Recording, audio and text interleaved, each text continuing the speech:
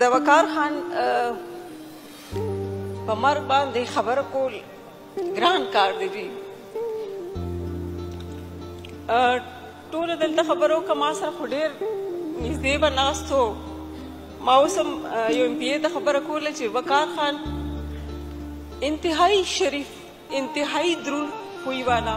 انتهایی پوزیټیو انسان مرګ حق دی مونږ چې په 2008 کې په اسمبلی کې ممبرانو نو چې کله به اجلاس شروع کېدو مونږ به راغو نو زمونږ یو ممبر چې دی هغه به شهید شوی و چې بل ځل به راغو نو بیا به زمونږ بل ممبر شهید شوی و او په دې اسمبلی کې بلا زمونږ داسې مشران زمونږ رونه چې هغه به هر ځل چې به مونږ راتلو زمونږ یو ورور به شهید شوی د وقار خان چې کوم خاندان خبره بابک صاحب وکړه په مرګ باندې ضرور مونږ دردېدل یو د هغه مرګ د ځوانۍ مرګ و د هغه نه واړه واړه بچي پاتې شو د هغه کور د هغه وروڼه چې دي دا د ټولو نه کشر ورور او ظاهره خبره ده چې په کور کې کشر ورور چې دی هغه د بچو په شان هغه د اولاد په شان او هغه ته په کور کې که هغه ډېر هم زیات لوی شي او هغه د بچو پلار شي خو هغه ته مخکې شان د ماشومانو غوندې کتل کېږي د وقار خان کور کې چې کوم غم دی د هغه روڼه د هغه ترونه د هغه خویندې د هغوی چې کوم خفګان دی نو هغه د کتو نه دی او بیا دلته چې کوم خبرو شو چې کله دا ملک چې دی د دهشتګردۍ ښکارو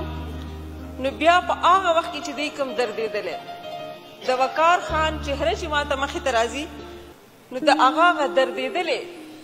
زړه چې ستا په کور کې یو کس داسې ځوان پاتې نه شو سپیکر صاحب تاسو چې هغه ځای ته لاړ شئ چې چېرته د وقار خان قبر دی نو هلته کې د ځوانانو قبرونه دي چې یو طرف ته د ده مشر ورور دی او بیا د هغه زامن زلمي د هغې قبرونه دي د وقار خان په ژوند کې چې په هغه کم تکلیف تیر شوی دی په دغه دهشتګردۍ کې چې یو پلار د کوره راوباسي او هغه ته دا وایي چې ستا کم زوی زیات خوښ دی چې کم زوی د زیات خوښ دی په هغه ګوته کېږي چې اول د لاغه شهید کړو اوس په داسې حالاتو کې په داسې خوره باندې زموږ پښتون کام ژوند تیری او په داسې خوره باندې وکار لالا د یو داسې خاندان سره تعلق ساتي چې زما په خیال ډېرې کمې داسې کورنۍ دي چې هغوی دومره دردېدلې دي ډېرې کمې داسې کورنۍ به خدای د هر انسان هر مسلمان هر پښتون د داسې غم وساتي خو د وقار خان غم نه زیات د وقار خان چې کوم ژوند و دردېدلی ژوند و هغه مو ډېر زیات جړوي